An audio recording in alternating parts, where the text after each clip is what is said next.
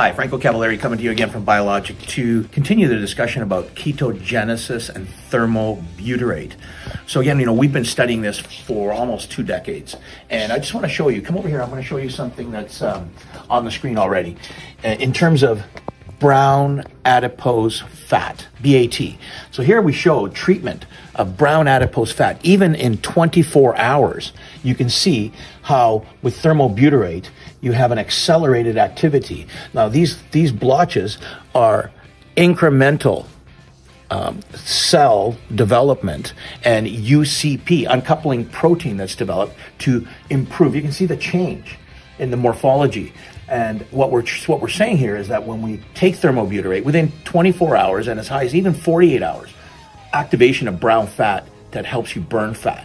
And again, we're taking this compound. Upstream activity is generated the same as that generated in the ketogenic diet.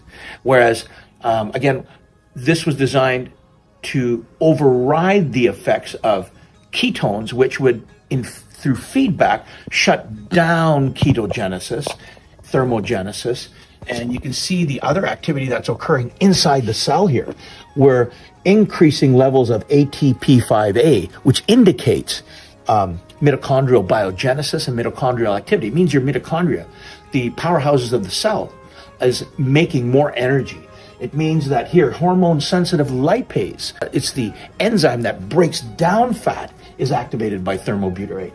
And then mTOR, now, what's mTOR? This is the first time I'm bringing mTOR to the picture in this context. mTOR is an enzyme um, in the skeletal muscle, the cells, that signals and tells the cells to regenerate and rebuild. And we're activating mTOR.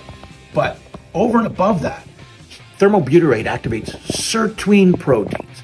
These sirtuin proteins are the upstream signals that clean up your DNA and induce an activity throughout the cell, a cascade of activity that causes your body to recover and regenerate.